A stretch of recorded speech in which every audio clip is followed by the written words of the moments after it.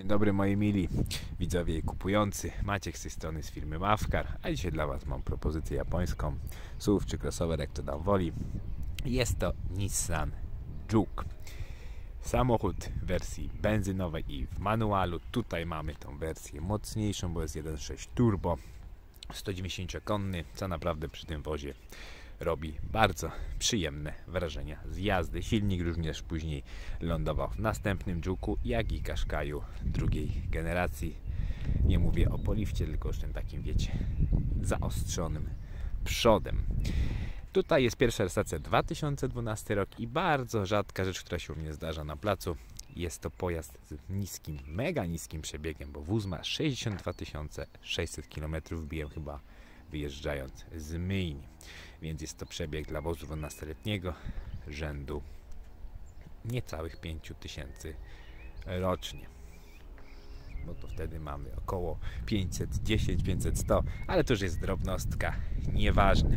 Rzadko takie wozy u mnie się trafiają, ale czasami i mi się coś udarzy przytrafić takiego właśnie z bardzo niskim przebiegiem, bo ja raczej celuję wozy bezwypadkowe i dobrze utrzymane i wolę zapłacić za auto z ciut większym przebiegiem, ale nie rozbite. A tutaj jest taki plusik, że akurat wóz udało się kupić bez wypadkowy.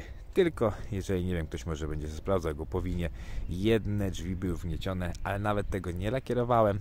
Ciekawe, czy zgadniecie, które, bo później w filmie powiem. Po prostu zawiodłem do wgniotkarza, dużo dosyć skasował, ale robotę wykonał świetną i jak widzicie auto prezentuje się naprawdę świetnie. Przede wszystkim bardzo mi się podoba ten lakier, nie jest taki ograny standardowy jak teraz, mega modny, biały i dalej jak zawsze modny, czarny, tylko ta wisienka też powiem Wam świetnie pasuje przede wszystkim do przyciemnianych szyb tych elementów czarnych na aucie, jak tych właśnie listew nad, nad kolami, błotnikami i tych klameczek sprytnie ukrytych w tylnych drzwiach u góry obok słupka.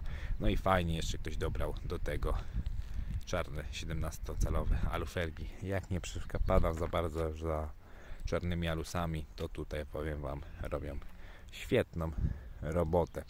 No i technicznie też wóz bez zarzutu. Ładne oponki, pewnie jak widzicie jest to Universal czy tam wielosezon, żeby było po prostu nie trzeba było co rok wydać pieniędzy na zmianę ich. Ładne tarcze, ładne klocki. No ogólnie auto przy tym przebiegu powinno być naprawdę bez zarzutu. Aż przyjemnie się patrzy też na stan taki blacharski. Po tej naprawie tej wniotki na drzwiach yy, prezentuje się bardzo dobrze. Nie jest poobijany, nie jest porysowany nigdzie kluczem. Trzeba przyznać, że pani, która nim jeździła, druga właścicielka od niego dbała. Tu sobie spojrzycie, tarcze ładne, a z przodu jeszcze ładniejsze. Proszę. Jeszcze nawet tutaj nie zdążyły zakoradować te e, wnęki. A co do stylistyki, Juke bardzo dobrze się sprzedawał, zwłaszcza najczęściej kupowały go panie. Jest taka futurystyczna, bardzo dużo szczelistych kształtów. No i jest, chociaż jest na płycie podłogowej Kaszkaja, jest on, tak powiem, mniejszy, no bo te wszystkie przechyłki, te takie światła z tyłu jak w Volvo V60 były chyba modne, taka Elka Troszeczkę zmieniałem oczywiście pojemność tego nadwozia. Naprzód to już trzeba po prostu lubić. Teraz już nie szokuje jak te, nie wiem, 13 czy tam 14 lat temu jak ten wóz wychodził, bo teraz już mamy kosmiczne Hyundai, jakiś przodem pająka, ale wtedy no taka ala żabka naprawdę była czymś szalonym. Teraz właśnie podejdę Wam z przodu, wóz z przodu prezentuje się najlepiej. Troszeczkę tak z góry, jakbyście go obcięli to sportowy, ale dół patrzycie, specyficzny grill, no i oczywiście na dole przeciwgielne, y, wyżej światła mijania, a na samej górze migacze. I czy pozycyjny, czy on ma tutaj u góry długie? Chyba tylko pozycyjne, więc dość takie ciekawe rozwiązanie. Jeszcze Wam przyciemnię troszkę tak się wóz prezentuje. No co będę jeszcze, nie ma co za bardzo nad nim rozwoić, bo wóz z bardzo niskim przebiegiem to powinien naprawdę prezentować się dobrze. No i oczywiście nie jest jakiś po wypadku. Zaraz go zmierzymy również miernikiem lakier, żebyście widzieli. Jak się nie mylę, bo mierzyłem go przed zakupem. Jest w oryginalnej powłoce lakierniczej, ale to za chwilkę. No, przygotowując się jeszcze do mierzenia mierkiem lakieru, chciałem Wam pokazać taką ciekawostkę, po czym poznać, że samochód ma niekręcony przebieg, jak nie macie żadnych jakichś tam wpisów serwisowych ani niczego, zwłaszcza po aucie japońskim, bo pod maską bardzo łatwo rozpoznać, czy to auto ma ten przebieg, bo to nie sztuka jest to przekręcić. Ja zawsze jak kupuję taki samochód i widzę, że te śruby, które w japońskich autach, spójrzcie, tutaj były, potrafiły bardzo korodować, a tutaj macie, widzicie, wszystko nówki, takie cynkowane. Wszystko widać, że to aluminium jest po prostu brudne po tych 12 latach, ale nie jest przegrzane jak alternator czy reszta, czy nawet te śrubki mają jakieś znaczniki. Bardzo ładnie to po prostu nam pokazuje, że ten pojazd nie zrobił jakichś tam kilometrów. Spójrzcie nawet jak ta osłona, która często się przegrzewa od turbiny wygląda dobrze. Dobra, to sobie przejdziemy do mierzenia miernikiem. Już Wam pokazuję. Od błotnika zaczniemy. Proszę, 90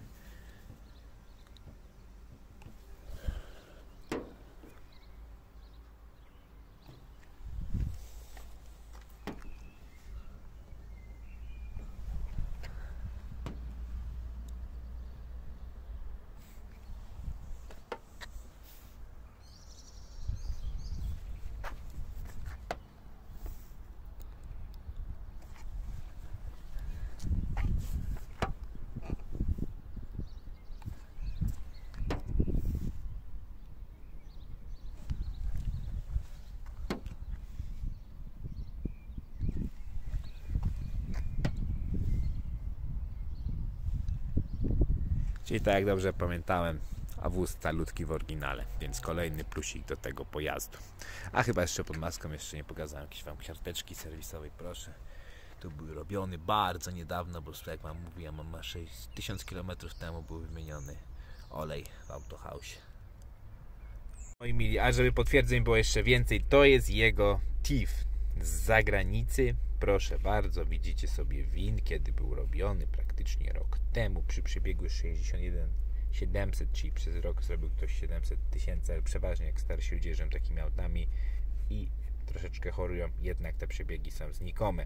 I tak jak Wam powiedziałem, nawet na niemieckim TV macie podane, proszę bardzo, które drzwi były naprawiane, opowiedzałem Wam, powiem, proszę spójrzcie, tur, drzwi prawe, przednie, shift, czyli uszkodzone czy tam wgniecione, czyli te drzwiczki są zrobione, ale na szczęście, tak jak Wam mówiłem, obyło się bez ingerencji lakiernika i macie pełen oryginalny lakier. Spójrzcie sobie na wnętrze. Wnętrze według mnie jest świetnie utrzymane, bo tutaj mamy taki, jak widzicie, welurek do zagłaskania. Raz jest tak, raz jest tak. Możecie sobie eski stawiać. To się bardzo w tych kaszkach szybko zużywało, zwłaszcza te siateczki. Tutaj spojrzycie na fotel. Tył to już jest w ogóle perfekcyjny, jakby nikt nie jeździł. Tak samo jak i sufity. Deseczka ładnie utrzymana, chociaż te plastiki też lubiły się ścierać, tak samo jak i te klameczki. Ten chrom z nich schodził. Deska taka specyficzna, dalej wszystko w takim trybie jakby jajka, wszystko okrągłe, to okrągłe, klamki okrągłe. To też nie prostokątne, tylko delikatnie owalne. Radio, proszę spójrzcie, macie normalne, ale co najważniejsze w tym radiu jest według mnie, ma bluetooth, podłączacie sobie telefon i słuchacie sobie muzyki, ale za to jest klima automat i z tym ekranikiem naprawdę robi robotę. Możecie sobie oczywiście wybrać temperaturę jaką chcecie, ile stopni już widzę jak się przełącza i wybrać sobie tryb jazdy, proszę bardzo. Jest sport normalny, możecie tam ustawić sobie na Eco, jakieś drive info, nawet macie przeciążenia GeForce jak w F1. Proszę, dalej plastiki. Tutaj to jest bardzo często wytarte, bo jest tylko polakierowane. Tutaj jest idealny stan tego mieszka. Dosłownie jest idealny. No takiego to się nie widuje. Tak samo jak i tych plastików często jest to od. Tutaj wszystko to ładnie polakierowane. Wygląda bardzo dobrze. Kolejny schoweczek. Kierownica jak widzicie, fajnie, że się złapało. No jest perfekt stan. Calutka faktura, zero wytarcia, zero podrapania.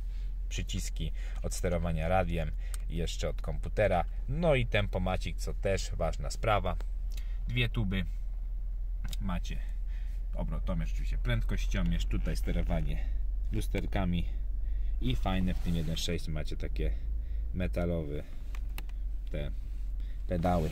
A tutaj jest ważny Spójrzcie, zmienili otwieranie klapki, stąd tutaj przenieśli klapy. Ważne, żeby się po prostu czasami przy otwieraniu wlewu od paliwa nie pomylić, nie otworzyć przedniej klapy. Tutaj mój boczek też ładny, spójrzcie, dobrze utrzymany. No i tak samo tutaj ta siateczka też jest ładna, boczek też jest nieprzetarty. Ogólnie wóz bardzo ładny, I chyba nawet tak sobie patrzę. Wszystkie szyby są w oryginale. Cóż, o wozie to tyle. Mi się bardzo podoba. Liczę, że się pewnie szybko sprzeda. I mam nadzieję, że film Wam też się podobał. Jak macie jakieś pytania, to je zostawcie w komentarzu. Albo sobie zasubskrybujcie kanał i dajcie łapkę w górę. Jeżeli chcecie dostawać kolejne powiadomienia o jakichś nowych filmach z samochodami, które może akurat Was interesują. Pamiętajcie również, że wszystkie samochody u mnie są opłacone. Możecie sobie wykupić gwarancję nawet do roku czasu, a nie macie dostarczyć auto do domu w rozsądnych pieniądzach nowo na lawecie lub mogę dla jakiegoś klienta nawet ten pojazd zarejestrować, jeżeli sobie tak owy życzy i się dogadamy. Kolejna kwestia ważna. Jeżeli samochód z filmu się sprzedał, mogę Wam poszukać kolejnego na zamówienie. Myślę, że to chyba byłoby na tyle. Nie pamiętam, że wspomniałem, że jest oczywiście opłacony, więc nie macie dodatkowych skarbówce kosztów. Ale już wracając, to by było na tyle. Pozdrawiam, cześć.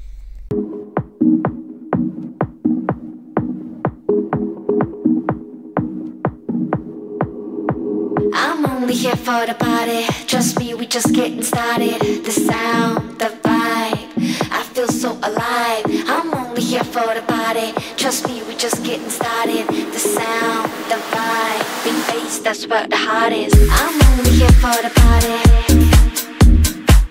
The sound, the vibe.